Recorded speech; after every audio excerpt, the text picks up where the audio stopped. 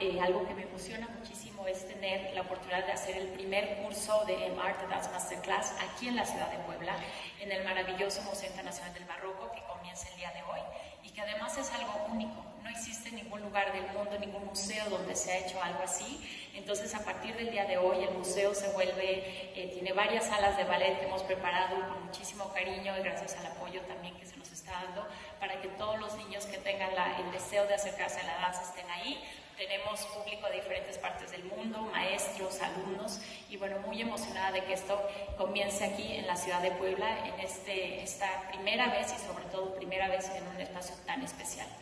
También